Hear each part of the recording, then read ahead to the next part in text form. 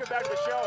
All right, so right here I've got Tim, I got Ross, and they are two of the team members for Sauce on the Creek, uh, the newest restaurant to open right in the Avon area, um, and they are also one of our sponsors for our live coverage up here. So thanks for that. Thank you. Thanks for letting us. Thanks for having us. You guys made it up here fine. You rode the bus. You had the long hike up the stairs. Were you out of breath coming up those stairs? No, I live in Summit County. This is like being at the beach. at the beach. Well, thanks for being here, and thanks for helping us with this live coverage. Tim, let's let everybody know about Sauce on the Creek, where you're located, what the story is, what you're all about. Great. Well, Sauce on the Creek is our third um, rendition of this restaurant. We have two over in Summit County.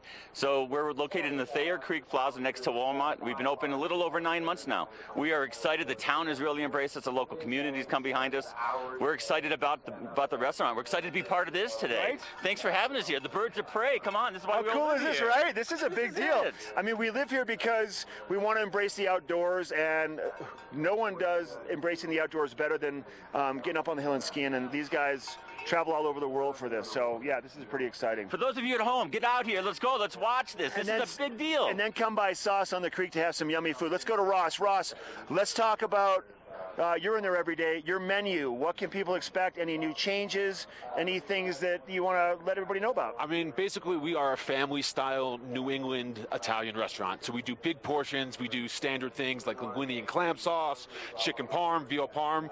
But not to take anything away from our restaurant, we have an amazing chef. His name is Mike Irwin. He's been in the Valley for a long time. Yes, he has. He's a good chef too. Yeah, he's, guy, yeah. he's definitely been Yeah, around yeah. for a long time. And then we are actually doing tons of great specials. So, like some of our specials, we're doing oysters, we're doing Kumamoto oysters on a half shell, we're doing like a fig glazed salmon over mixed green salad.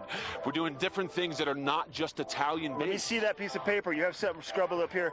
Buffalo short rib weekend. What's that? Yeah, we're going to be doing a buffalo short rib for the weekend. It's uh, an amazingly braised where the meat will fall off the bone. It's like nothing else.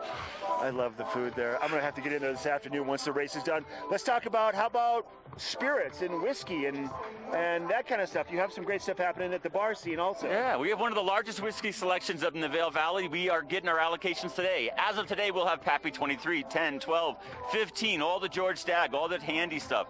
We have 100 and, 130, 140 whiskeys in the back bar. Um, we have over 100 bottles of wine. We have an eight bottle wine Cuvée system in the back, so you can get a perfect pour at the perfect temperature all the time. You've We- we've rehearsed got- that got before. some you got it dialed in. And then uh, how about people want to have a Christmas party? Can they can buy and do that at your place. Yeah, we have we have actually two rooms. We have a smaller room in the back if people want to come in and have a private party.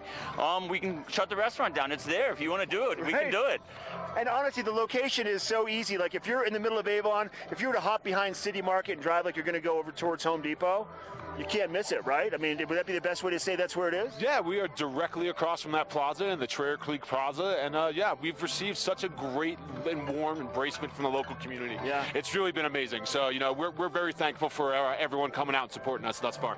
Now, you guys, is this your first? This is the first winner, official winner, right? Yeah, this is this is actually our first day. We haven't um, we opened late March of last year. Yeah. So we haven't had any of the winter days yet. So we're kind of excited to see what's going to happen. To And see that- what kind of crowds the snow brings, and obviously, early season snow like this really sets the stage for people booking those reservations. And when they book those reservations, the concierge at every hotel should be saying, "You got to go by sauce."